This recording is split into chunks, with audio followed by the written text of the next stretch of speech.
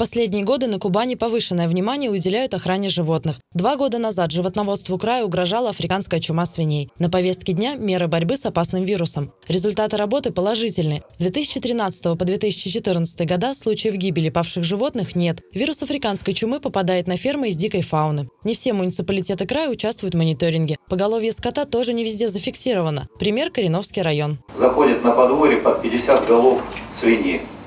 В отчетах муниципального поселения это поголовье не числится. Ветслужба об этом поголовье ничего не знает. Но когда тихо, мирно, а потом будут вспышки, я думаю, что это недопустимо в целом по краю.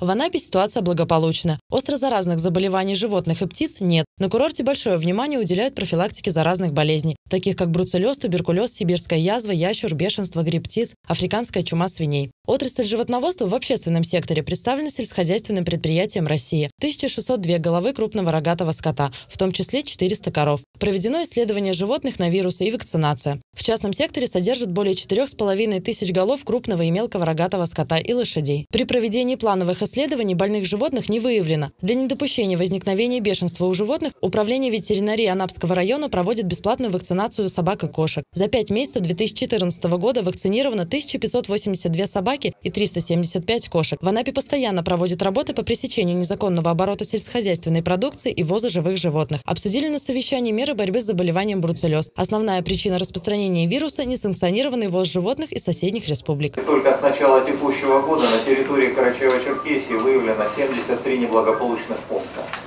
У нас горят по бруцеллезу Отрадинский район, в Лабинском районе есть пункты, Мостовской район.